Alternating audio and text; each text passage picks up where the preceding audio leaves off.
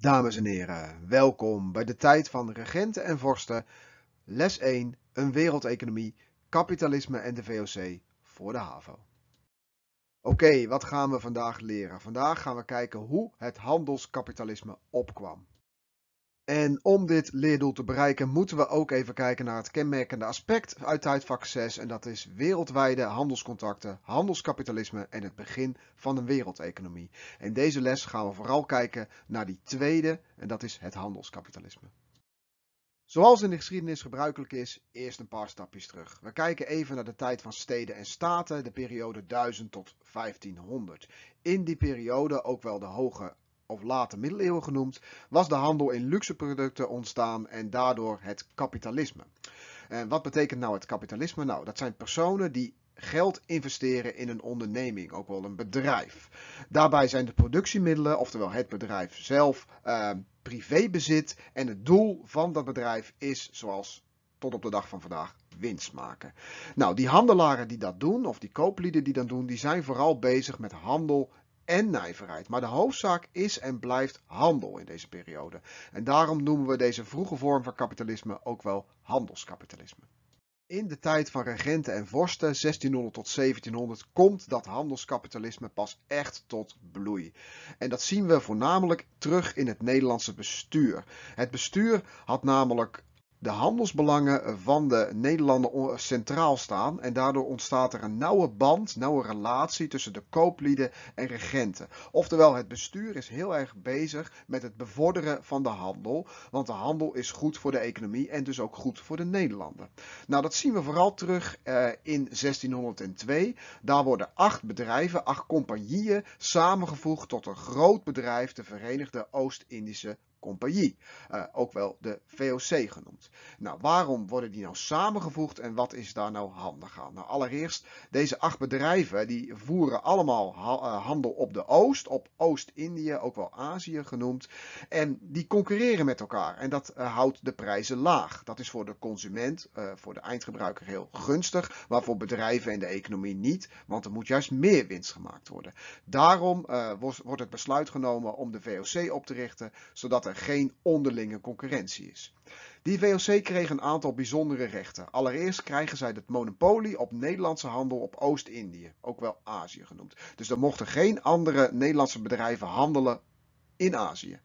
Uh, ook kreeg het bedrijf rechten om verdragen te sluiten met bijvoorbeeld lokale vorsten of uh, met lokale bestuurders.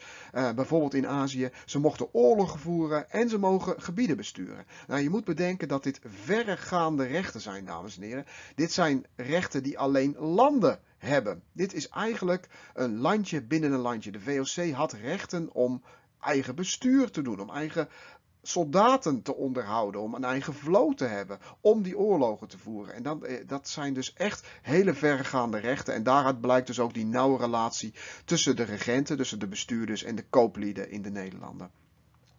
Nou, en Nederland is hier niet uniek in. In andere Europese landen worden er ook grote ondernemingen met uh, overheidssteun opgericht. Denk hier bijvoorbeeld uh, aan de East India Company, de EIC in Engeland. En die is helaas uh, voor de Nederlanders twee jaar eerder, namelijk in 1600, wordt die opgericht.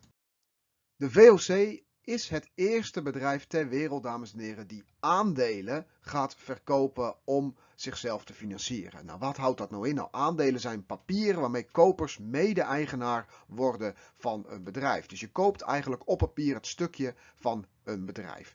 Nou, deze aandeelhouders die krijgen jaarlijks uh, een deel van de winst uitgekeerd. En zo blijft het dus heel erg interessant uh, voor aandeelhouders om hun geld in de onderneming te laten zitten. Want ze krijgen ieder jaar uh, een deel van de winst uitgekeerd. En dat is natuurlijk interessant. En dat is een hele grote stap voorwaarts in het handelskapitalisme. Want daarvoor werd iedere reis apart gefinancierd. Er werd namelijk een bedrijf opgericht, er werd een boot aangekocht en er werd een boot aangekleed met alle producten die ze nodig hadden. Denk aan zilver, denk aan bemanning, denk aan zeilen, touwen, al die zaken die moesten gekocht worden. En dus iedere reis werd apart gefinancierd. En dat betekent dus dat iedere reis apart aandelen ging uitgeven. En daar kon je dus als particulier onderdeel van zijn. Nou, de VOC doet dat anders. De VOC uh, eh, gaat aandelen verkopen als bedrijf en dat bedrijf gaat zelf reizen ondernemen. Dus dat is een grote winst en zo werden ook veel sneller reizen gefinancierd. Nou, een groot, uh, grote verandering binnen de VOC is dat de aandeelhouders niet de leiding hebben over dat bedrijf. Dat zijn aparte bestuurders, de heren 17, en die runnen dat bedrijf. De aandeelhouders hebben geen zeggenspraak in wat er gebeurt eh, binnen dat bedrijf. Eh, en die aparte bestuurders, die heren 17, de leiding van de VOC, die eh, stelt ook leiding aan in Azië, in Oost-Indië, in uh, Jakarta om precies te zijn. Batavia noemden ze dat in de, eh, in de tijd van regenten en vorsten. En de hoogste bestuurder in Azië, die werd de gouverneur-generaal genoemd. Oké, even terugblikken. Wat moesten we ook alweer leren? Vandaag gingen we kijken hoe het handelskapitalisme opkwam. En het antwoord daarop is, in de late middeleeuwen werden handelaren belangrijker en belangrijker en is het kapitalisme ontstaan. En daarbij is het grote doel winst maken. Nou, deze vroege vorm van kapitalisme, waarbij handel de hoofdzaak is, noemen we handelskapitalisme. In de tijd van regenten en vorsten komt het handelskapitalisme tot bloei en in 1602 werd de VOC opgericht, de Verenigde Oost-Indische Compagnie. Dit is het eerste bedrijf ter wereld met aandelen en deze VOC verkreeg het monopolie op de Nederlandse handel met Azië om onder, onderlinge concurrentie te voorkomen. Tevens had het bedrijf het recht op verdragen te sluiten, oorlogen te voeren en gebieden te besturen.